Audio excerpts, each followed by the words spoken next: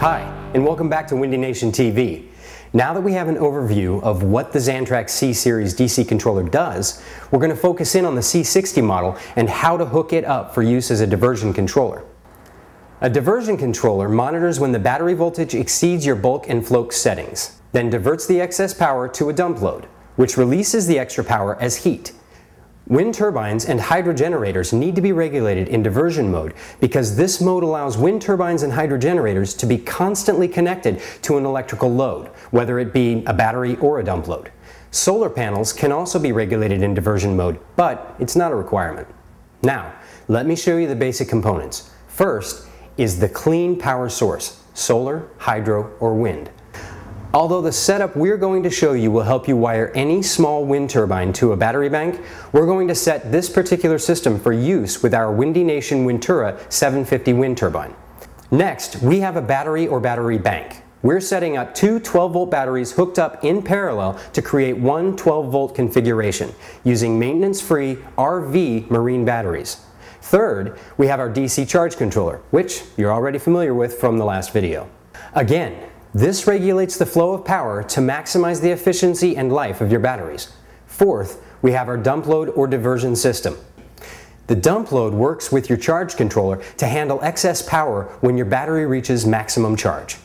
Some other components we'll use are automatic reset circuit breakers, but you could use a fuse or a disconnect switch, a three-phase bridge rectifier which converts the three-phase AC electricity produced by the wind turbine to DC electricity, and appropriately rated wire and connection terminals, which you can find in the user manual. And we'll also show you the optional Windy Nation watt meter. Now, Let's get started by configuring the proper settings on the controller for use with the WindTura 750 wind turbine kit. First, remove the C60's cover. You will find three sets of jumpers on the right side of the circuit board. The middle jumper is to change the mode of the C60 between load controller and charge controller.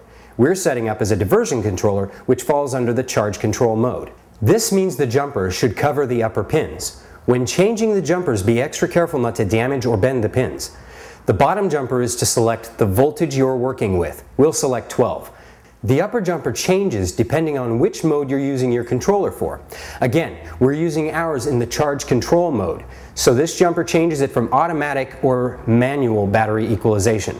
The factory setting is manual and we'll keep it there.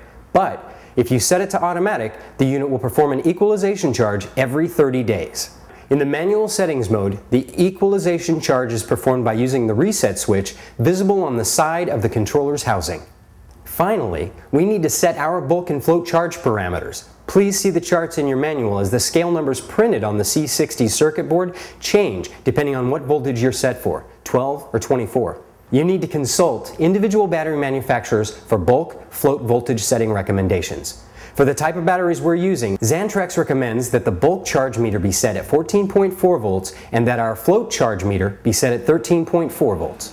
One final note. If you're using NiCad batteries, you will cut the R46 resistor to raise charge parameters. Please see the DC controller user's manual for more specific instructions if using NiCad batteries. In our next video, we'll wire the system together. WindyNation.com. Clean power to the people.